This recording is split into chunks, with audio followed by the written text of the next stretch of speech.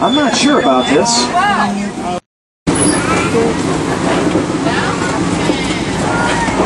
The matriarchs are the dominant elephants of the herd. Huge animals. They weigh between six and nine thousand pounds. The matriarchs, the dominant elephants, they're all female. And just so you know, both the male and females have those tusks.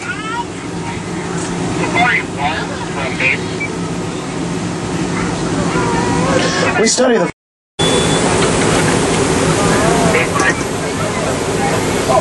All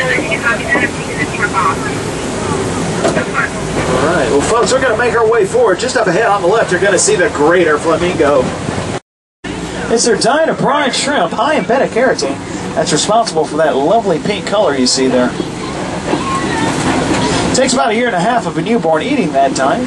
Yeah, yeah, yeah. cái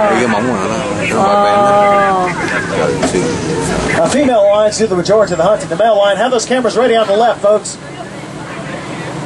Yeah. Oh my God. All right, we'll pause here just for a second. Oh, If I'm not mistaken, I've seen him do this a couple of times before. He's checking out the area around. Have those cameras ready, folks. You're going to get a good picture in about three, two, Wow. one, snap.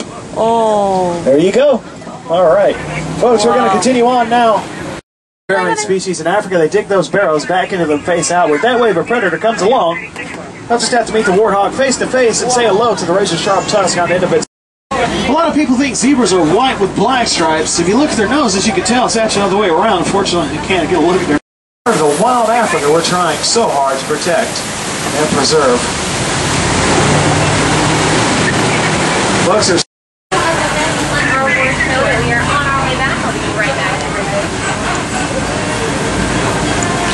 Everyone remembers what jumbo means, right?